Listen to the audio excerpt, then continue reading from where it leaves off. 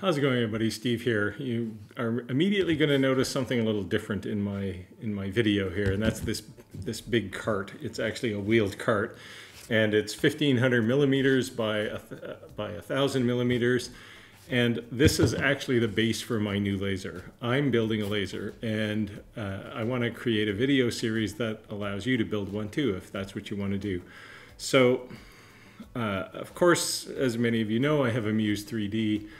And you may ask, why on earth would you need another laser? Well, as you can see, this one is much bigger. Uh, it's also, so it's going to be, the intent here is a, is a 900 millimeter by 600 millimeter, so roughly three feet by two feet of, of work area. And it's going to be a 90 watt laser uh, instead of a 40, 45. So it'll have a lot more power to cut things uh, I, am finding I'm, I'm getting bigger projects. So if somebody comes along and says, hey, I need 12 millimeter acrylic cut, well, that's three quarters of an inch. So there's no way I can do that with a 40 watt laser. Uh, no 40 watt laser, not a Glowforge, not a Muse, not a Maker block, a Makeblock laser box. There's a million of them. Uh, not any of those. It's just not enough power. So uh, so I wanted to make this bigger laser. And you'll start to see me, I've got, I've got uh, some uh, aluminum extrusion here, aluminium if you're uh, one of our UK viewers. And uh, you're starting to see some hardware, I'm starting to lay it down. So parts are starting to arrive for this and, and I'll walk you through in this video uh, building the frame, uh, you know, kind of walking through some of the design rationale that I chose. And, uh, you know, the goal ultimately is to use 100% off the shelf parts so you don't have to laser cut. Uh, most things We'll say uh, the outside shell, the outside skin of this laser will be acrylic, so that you would have to cut, but you could also cut that with a saw and, and drill holes with a drill. So you don't specifically need custom tools for this which means that we can lower the bar for most people uh, if they're you know mechanically inclined. Uh, they can build this laser with just off-the-shelf parts. So so that's the goal, and and you know just a bit of background on why you would want to do this in the first place. Uh, as I was looking at 90 watt lasers, uh, I realized that there's a huge jump in price for all manufacturers when you go from kind of that 40 to 60 watt range to the 90 watt range. Uh, 90 watt lasers tend to cost upwards of, well, they start around $10,000 usually, and they go up from there. So I looked at that and went, well, there's something not right here because even if you use top end parts, which is what I plan to do, they wouldn't cost that much by far. So what I'm hoping for is to build a laser in the price range of three to four thousand dollars and that would give me a really good high-end uh, laser with good cooling, uh, lots of exhaust capability. So it's just the intent is it's going to be a workhorse, but it's a workhorse that you can build yourself if you want. Uh, I started with, with a table design. I'll, I'll, make all of these designs available in some form later on, probably with a step-by-step -step guide on what I'm actually doing. But in the videos, I'll just kind of whip things together and certainly leave comments in videos below. Uh, if you want to see something in a little more detail, I could include it in the next video. Anyway, we're, go we're going to get going on this. Uh, we're going to start with, with the frame, as I mentioned, and uh, starting with uh, putting bolts and T-nuts in about a hundred of these uh, to build up the corners. So let's get going on this, and you know, hopefully you're interested in it, and and uh, ideally you build your own. All right, so just a quick walkthrough here of the laser. You can see on screen here, the laser is actually two pieces. The bottom piece is the card, and I showed you the card earlier. Uh, I could have made it out of uh, extruded aluminum, but it was going to cost a massive amount of money. So what I did was just use two by fours and quarter inch plywood to assemble that and then put some uh, swivel wheels. These are six inch wheels and they swivel and lock. And the reason for that is because this thing is big, it's going to take up a lot of room in my shop and I need to be able to move it around. So, so that was the purpose for the wheels. Uh, on top of that, and I'll just get rid of the cart here for a second.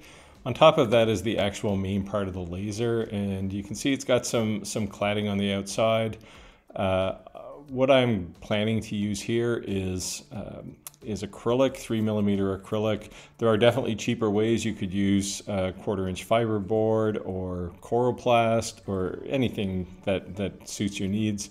Uh, I decided to use acrylic here just because, yeah, I like acrylic. It looks nice. And uh, what I plan to do, it turns out that clear acrylic is substantially cheaper than if I wanted to get red, for example. So uh, what I plan to do is use clear acrylic and paint the inside of it with Krylon paint and uh, that will give me a nice clear finish on the outside as well as uh, some protection uh, just from stray light floating around. It's the the acrylic itself is is enough to protect you from any kind of laser uh, threat, but uh, but I just wanted it to be red. So if I turn off the the skin here, you can see what's inside the laser. Actually, I'll turn off the lid as well, so you can see Inside the laser, there are sort of four posts. Uh, these are the uh, Y, uh, the Z adjustment, and there are some linear rails on the side, a linear rail across the middle here. I can zoom in, and uh, my laser output will be uh, running along that rail. Uh, tube in the back. This is a is I'm planning to use a, a 90 watt tube, a CR 90 watt tube uh, and matching power supply. All of my laser bits, just uh, for information, all come from Cloudray. Uh, I have worked with them uh, for a lot of stuff here, and um, I like them. Uh, there is an adventure with the tube, uh, which just ended up being hard to get, but I'll talk about that as we go. inside, we have the bed. The bed on this laser is going to be uh, 24 inches wide and 36 inches uh, across, so 600 millimeters by 900 millimeters. This is substantially bigger than, than my, my Muse uh, workspace. Uh, and this is really the inspiration for building this. That my Muse, which I love, is just not big enough for uh, some of the projects I've been doing. And uh, so it's been a bit of a challenge uh, to, to try and work with some of the bigger things. Things that you can see inside here, uh, electronics over on the side. Let me just zip over onto that side. We have the Ruida controller. I'm using uh, uh, using that. Uh, it's a really nice controller. It, it, supports Lightburn, which is which is important to me. Uh, three stepper motor uh, controllers and uh, some power supplies. I'm going to have, I'm not showing everything here, but I'm going to have a 5 volt supply, a 12 volt supply, and a 24 volt supply, as well as the uh, 28,000 volt uh, laser supply. And uh, so this box will be basically full of power supplies, but there will be some electronics in here too. And as I go, I'll, I'll show you uh, what I'm up to there. I won't go into painful detail uh, uh, as we build the frame out, which is kind of the first video here, the first part of this video log. Basically, bolting uh, aluminum extrusion together isn't really that exciting, but uh, I can show you if I uh, just grab the frame here. You can see anything here that's red is a 2040 extrusion, anything that's yellow is 2020 extrusion. So there's quite a bit of, of extrusion here. Not a lot of it is actually structural. A lot of it is really just to hold things. So uh, for acrylic or to hold the laser tube, those sorts of things. And you know, I could have easily made it a little a little lighter and tighter, but uh, once you're buying into aluminum extrusion, you're kind of buying into some cost. So, you know, in for a penny, in for a pound, as they say. So anyway, that's the frame. And that's what we'll start in this in this first video, and and uh, we'll get this all together. And uh, again, I won't go into you know miter gauge detail on how how I'm building this, but I'll kind of keep you up to date over over the next a few videos in this series to show you the progress I'm making, explain some of the problems I've run into if you want to build your own. And uh, certainly if you want to build one of these, let me know and I'll make, I'll make all the files available to you. I'm not really interested in making money here, but I, for me, the, the need here was really just the whole reason for building this. I just needed something bigger. So anyway, this, this is the laser and, and uh, we'll get going from here.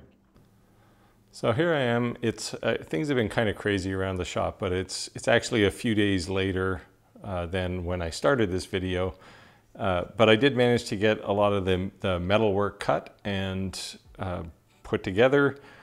And it's actually starting to look like a laser. I have the frame for the lid sitting over on the side here.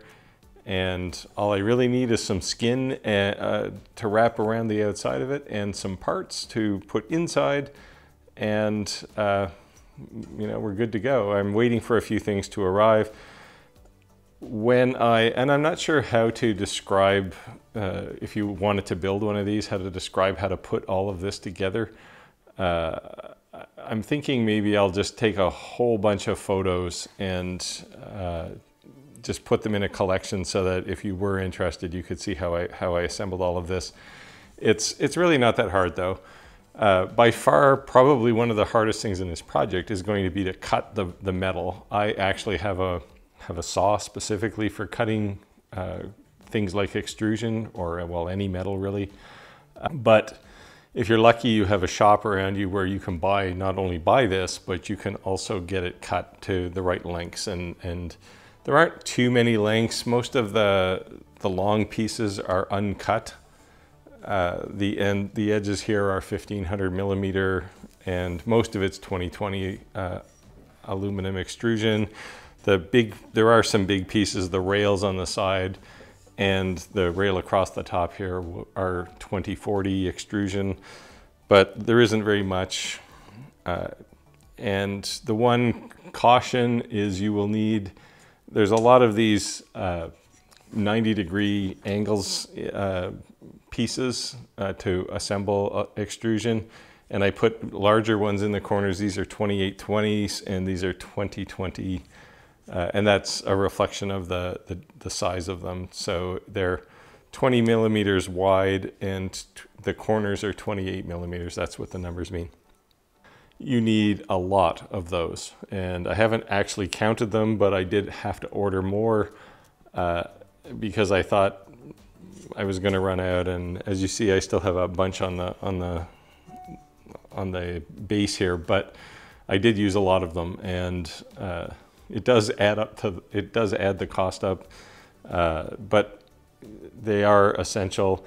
The other thing, uh, a caution is you need to make sure you count the number of, uh, of T-nuts that have to go into these slots before you put things together.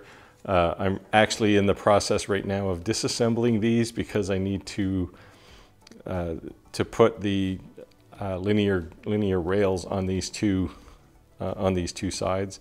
Um, I knew that was going to happen, but in the process, numerous times as I've been building this, I've assembled, uh, disassembled to put extra T-nuts in. Anyway, this is the frame.